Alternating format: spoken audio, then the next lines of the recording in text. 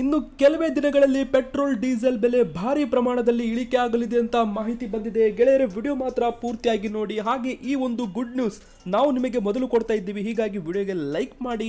ಹಾಗೆ ನಮ್ಮ ಚಾನಲ್ಗೆ ಪ್ಲೀಸ್ ಸಬ್ಸ್ಕ್ರೈಬ್ ಆಗಿ ಪಕ್ಕದಲ್ಲಿ ಕಾಣಿಸೋ ಬೆಲ್ ಐಕಾನ್ ಬರುತ್ತಲ್ಲ, ಅದನ್ನು ಕೂಡ ಈಗಲೇ ಕ್ಲಿಕ್ ಮಾಡಿ. ಹಾಗೆ ವಿಡಿಯೋಗೆ ಲೈಕ್ ಮಾಡೋದರ ಜೊತೆಗೆ ಕಮೆಂಟಲ್ಲಿ ಗುಡ್ ನ್ಯೂಸ್ ಅಂತ ಎಲ್ಲರೂ ಕೂಡ ಪ್ಲೀಸ್ ಪ್ಲೀಸ್ ಕಮೆಂಟ್ ಮಾಡಿ. ಹೌದು ಗೆಳೆಯರೆ, ಜಾಗತಿಕ ಮಾರುಕಟ್ಟೆಯಲ್ಲಿ ಕಚ್ಚಾ ತೈಲ ದರ ಇಳಿಕೆ ಆದರೆ ಪೆಟ್ರೋಲ್, ಡೀಸೆಲ್ ಬೆಲೆ ಕೂಡ ಇಳಿಕೆ ಮಾಡಿ ಅಂತ ಕೇಂದ್ರದ ಸಚಿವರು ಪೆಟ್ರೋಲಿಯಂ ಕಂಪನಿಗೆ ಹೇಳಿದ್ದಾರೆ. ಬನ್ನಿ ಇದರ ಬಗ್ಗೆ ಬಂದಿರೋ ಲೇಟೆಸ್ಟ್ ನ್ಯೂಸ್ ಗುಡ್ ನ್ಯೂಸ್ ನಿಮ್ಮ ಹತ್ತಿರನೂ ಕೂಡ ಬೈಕ್ ಕಾರ್, ಲಾರಿ, ವಾಹನಗಳಿದ್ರೆ ವಿಡಿಯೋದಲ್ಲಿ ಕಮೆಂಟ್ ಅಲ್ಲಿ ಸೂಪರ್ ವಿಡಿಯೋ ಅಂತ ಈಗಲೇ ಕಮೆಂಟ್ ಮಾಡಿ.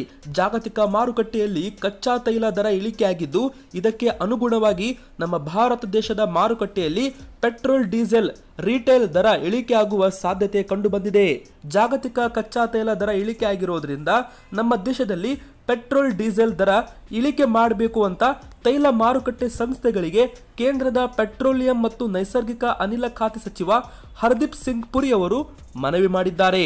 ಪತ್ರಿಕಾಗೋಷ್ಠಿಯಲ್ಲಿ ಮಾತನಾಡಿದ ಇವರು, ಕಚ್ಚಾ ತೈಲ ದರ ದಾಖಲೆ ಮಟ್ಟಕ್ಕೆ ಏರಿಕೆಯಾಗಿ ನಂತರದ ಕೆಲವು ತಿಂಗಳಿಂದ ಕಚ್ಚಾ ತೈಲ ದರ ಭಾರಿ ಇಳಿಕೆಯಾಗಿದೆ. ಈ ಹಿನ್ನೆಲೆ ತೈಲ ಮಾರಾಟ ಕಂಪನಿಗಳು ಈಗಾಗಲೇ ತಮ್ಮ ನಷ್ಟ ಸರಿದಗಿಸಿಕೊಂಡಿದ್ರೆ, ಇಷ್ಟು ದಿನ ಅನುಭವಿಸಿದ ನಷ್ಟ ಈಗಾಗಲೇ ಸಮವಾಗಿದ್ರೆ ದರ ಇಳಿಕೆ ಮಾಡಲು ಕ್ರಮ ಕೈಗೊಳ್ಳಿ ಅಂತ ಹೇಳಿದ್ದಾರೆ. ಕಳೆದ ಹದಿನೈದು ತಿಂಗಳಿಂದ ತೈಲ ಕಂಪನಿಗಳು ಬೆಲೆಗಳನ್ನು ಬದಲಾಯಿಸದ ಕಾರಣ ಪ್ರಯತ್ನಗಳನ್ನು ಶ್ಲಾಘನೆ ಕೂಡ ಮಾಡಿದ್ದಾರೆ. ಅಂದರೆ ಹದಿನೈದು ತಿಂಗಳಿಂದ ಪೆಟ್ರೋಲಿಯಂ ಕಂಪನಿಗಳು ಬೆಲೆ ಪರಿಷ್ಕರಣೆ ಮಾಡಿಲ್ಲ. ಜನರಿಗೆ ಕಡಿಮೆ ದರಕ್ಕೆ ಪೆಟ್ರೋಲ್ ಮತ್ತು ಡೀಸೆಲ್ ಕೊಟ್ಟಿದೆ.